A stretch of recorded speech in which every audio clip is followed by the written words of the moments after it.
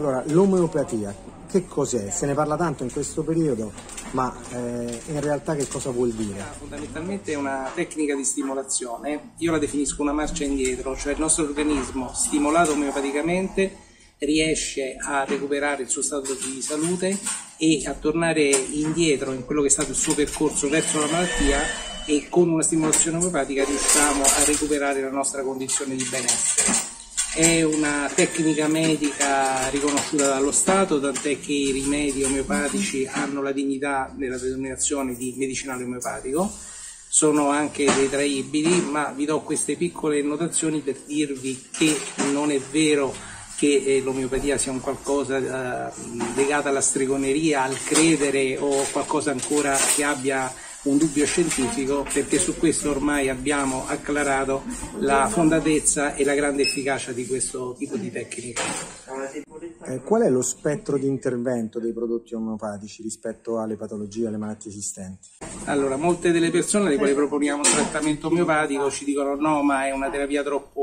lenta, troppo lunga, preferisco prendere qualcos'altro e, e, quindi rispondo alla domanda, noi diciamo a queste persone che l'omeopatia è lenta per quelle patologie croniche per le quali ci sono voluti mesi o anni per ammalarsi ed è molto rapida per tutte le patologie acute, ovvero ieri stavo bene, oggi ho un raffreddore, curarsi omeopaticamente significa guarire più velocemente che prendere qualunque farmaco noto chimico.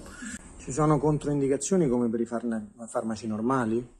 Allora, in omeopatia non abbiamo controindicazioni, questo non deve però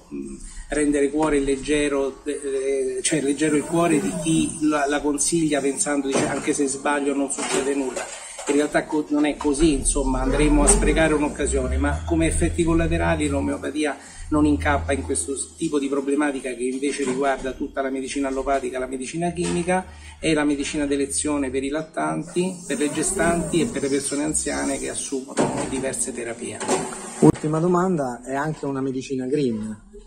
È una medicina green, a me piace molto sapere nel momento in cui consiglio un prodotto omeopatico che il paziente non avrà un impatto nei confronti dell'ambiente perché le sue elimina- le eliminazioni del farmaco, quindi per uh, via urinaria o per via fecale, non hanno alcuna traccia di farmaco e conseguentemente non si inquina eh, il nostro ambiente e lo stesso tubo granuli una volta che è finito, essendo costituito da vetro e plastica, verrà eh, riciclato in modo differenziato, vetro nel vetro e plastica nella plastica, impatto zero.